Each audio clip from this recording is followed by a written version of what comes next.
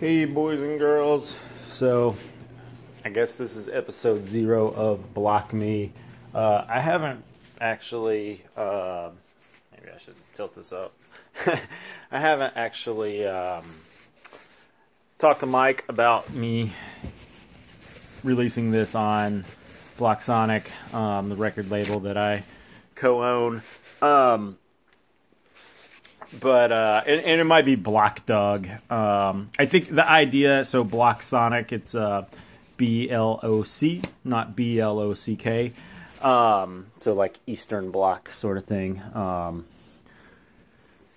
but um, I uh, I'm sort of pu- putting the riff on blocking people on social media, and I and I think it's more about you know it's confrontational but uh, the real idea is like hey if you don't want to listen to a show don't listen to a show. So um, this this is really going to be the successor of i think um, the free culture sports show which before that was tint um, which stood for this is not uh, um, but also a little bit Music Monument uh, i think you know when we started tent I was with, I, I had Rhino on for a bit, and I had um, Kevy from Unseen Studios and from Crivens and Tux Jam um, and CC Jam.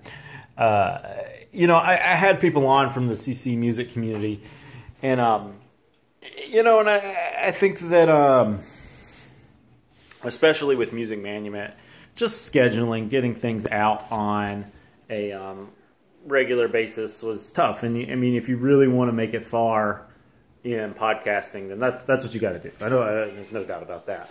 Um, or you know, you just got to be like amazing. Um, somebody, people are just gonna, you know, really keep that on. Um, that's Garfield. I think you guys could probably hear that. Um, hey, buddy. Uh, it is, in fact, food time uh, for them. Um, I uh, I was not anticipating feeding them right now because um, Marvin just laid down. Uh, that's Marvin there. You can actually see when it's in selfie mode. Like, but yeah. So I don't think the show is mostly going to be me on a camera. Um, I mean, me on a phone actually. Probably me on a camera a lot.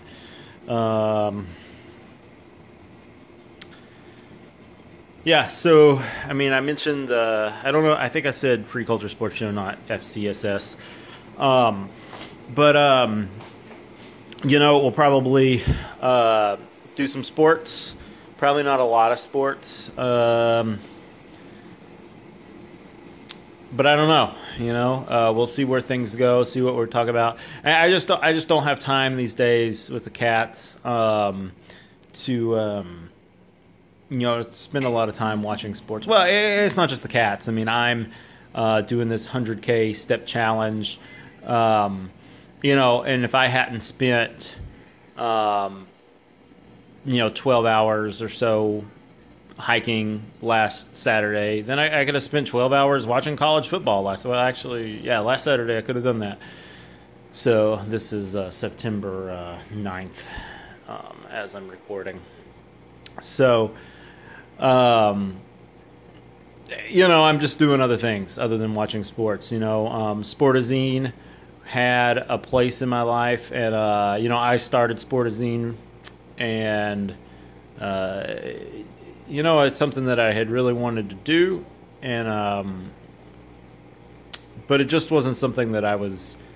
Um, I was good at, I guess. I mean, really, um, and good at in the financial sense. I mean, um, even in the like you know i didn't get a lot of feedback that people you know maybe marketing was really what i wasn't good at. Um, but it's but you know but anyway this time um, that time is come and gone. Um, so i think we'll be seeing a lot from nick on the show maybe audio.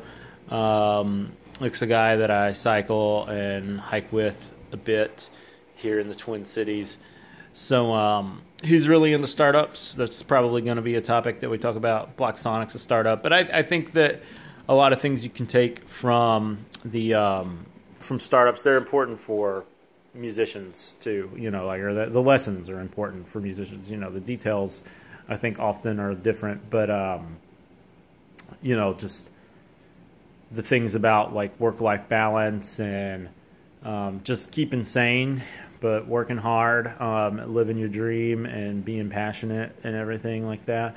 I think there's a lot of crossover between musicians and um, and startups. And um, you know, startup I think is largely like a, a term from the tech community, but eh, you know, at some level, startup just means new business. And if you're you know looking to make money in music, then you are a business, even if you think that um, you know, even if you hate that part. Um, unless you are going to have another job or just have a trust fund, um, then you're not going to be able to do music full time unless you take the business side seriously. So, um, you know, if that sort of thing, the business side uh, of things is really interesting. You go back to the music mark. Uh, I can't talk now. The Music Monument Archives. Uh, listen to that. It wasn't always about business. I mean, I mean, the show was really about Creative Commons. Uh, but we always tried to talk about, you know, how do you make things work with Creative Commons? Um, because it's a little bit different than in the traditional scene. But the whole idea that you can't make money in Creative Commons is crazy.